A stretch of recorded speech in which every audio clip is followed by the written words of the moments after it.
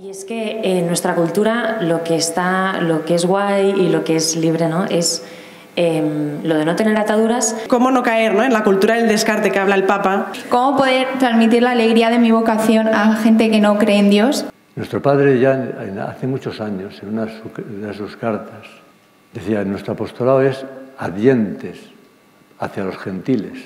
Tenemos que estar dispuestos ya a lanzarnos al trato apostólico con gente que no es ni siquiera cristiana. ¿eh? ¿Cómo se puede hacer? A base de amistad.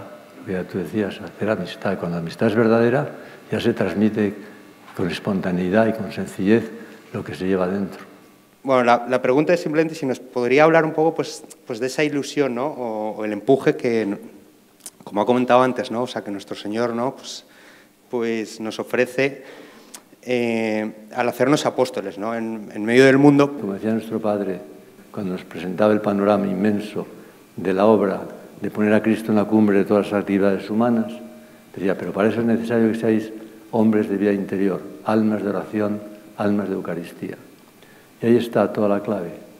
Es la fuerza del Señor mismo, ¿eh? que nuestra identificación con Él, sobre todo en la Eucaristía y en la oración, la fuerza que podemos tener para transmitir el tesoro que hemos recibido, ¿eh? para realmente llegar a poner a Cristo en la cumbre de todas las actividades humanas. Primero, tres cosas de parte de todas. Ah, bienvenido a Torre Ciudad. Ah, muchas gracias por este rato que nos presta. Y después también felicidades por el 50 aniversario de su ordenación. Me parece que merece un aplauso.